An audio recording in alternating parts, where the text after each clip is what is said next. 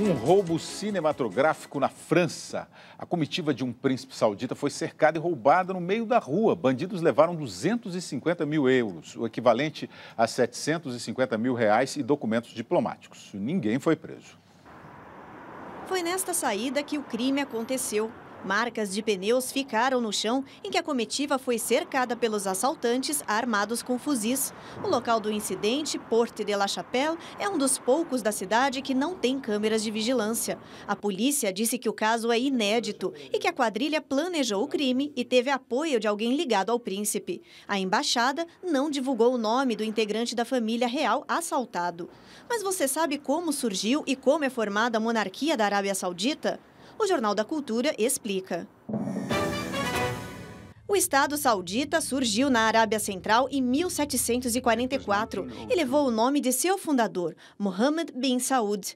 Em 1927, o sultão Abdelaziz bin Saud fundou a moderna Arábia Saudita e virou o primeiro rei da região, que tem 30 milhões de pessoas. Dez anos mais tarde, a descoberta de petróleo abriu as portas do território de clima árido para o mundo e tornou a região bilionária. A Arábia teve sete reis. O trono é sempre passado de irmão para irmão ou para filhos. O rei atual é Mokrem Ben Abdelaziz, de 69 anos. Ele assumiu no início do ano, no lugar do meio-irmão Abdullah.